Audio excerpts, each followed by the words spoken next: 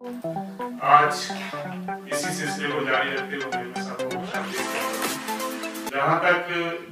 जेके पे सिस्टम का तल्लक है, इसको 2019 में government of Jammu and Kashmir की तरफ़ से मूविंग सेक्रेटेरिएट ट्रेजरी में एज ट्रायल शुरू किया गया और वहाँ पे कामयाब तरीके से चलने के बाद,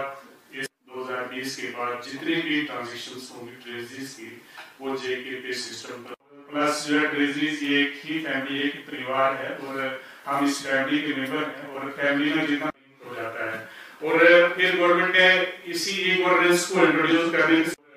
पेपर वर्क होता था। उसी को पेपर लेस करने के लिए गवर्नमेंट ने एक इनिशिएटिव लिया है। जो सिस्टम है जैसे हम बजट बनाता है हमारे डिपार्टमेंट या फिर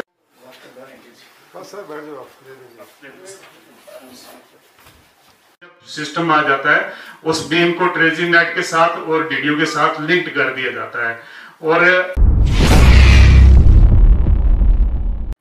गवर्नेंस की तरफ़ एक बहुत बड़ा कदम है, जिससे मैक्सिमम एम्प्लॉज का बहुत बड़ा बेनिफिट होगा और हाईली ट्रांसपेरेंट हाईली जो है वो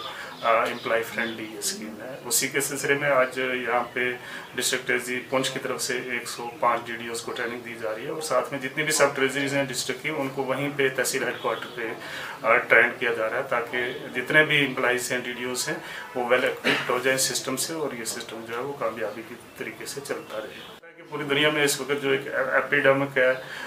कोविड नाइन्टीन जिसने पूरी दुनिया को हिला के रखा हुआ है उसी सिलसिले में हमने जितने भी प्रिकॉशनरी मैयर्स थे